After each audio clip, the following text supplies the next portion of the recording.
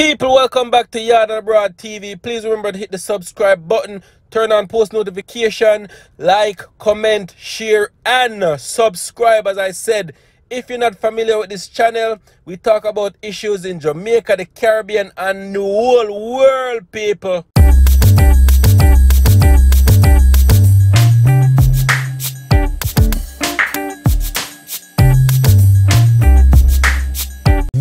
Wagwan viewers and subscribers, welcome back to my channel once again, people. Much love and appreciation as usual.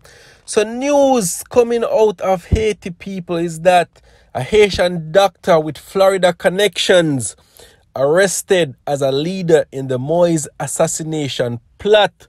Yes, you heard that correctly, people.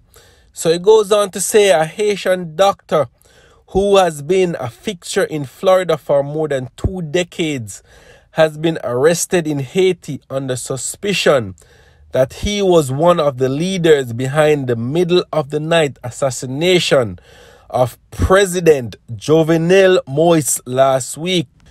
Haiti's police chief said Sunday. Christian Emmanuel Sanon's name was mentioned by several of the people who are in custody in the case. Haiti National Police Chief Leon Charles said Sanon was the first person, one of the suspects, called after being captured.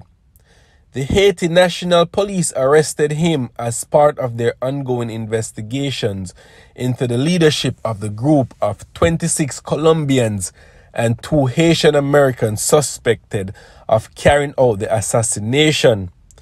Sanon made contact with two other people who are implicated.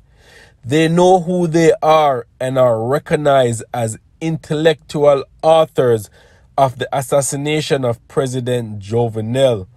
Sanon's arrest makes him the third person of Haitian descent who has been arrested in the killing James Solage, 35, and Joseph G. Vincent, 55, Haitian Americans from South Florida are also in police custody after turning themselves in hours after the killing.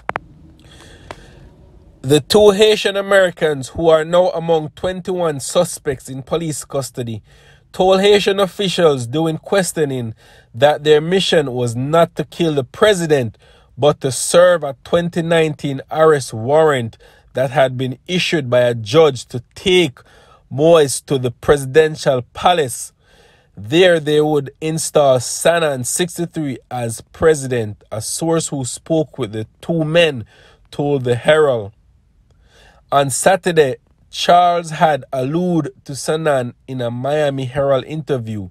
Although he did not name him, he said that the suspects, including the two Haitian Americans, confirmed that they work for a company based in the US and Colombia, which work with two Haitian Americans and a high profile doctor here.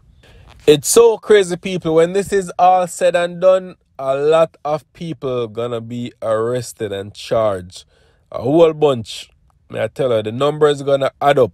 But this was just a quick update on that, people. Um, once I get more information and they release more names and thing, I will keep you updated as usual. All right, bless up in yourself. Much love and appreciation from Yaad and Abroad TV. Bless up.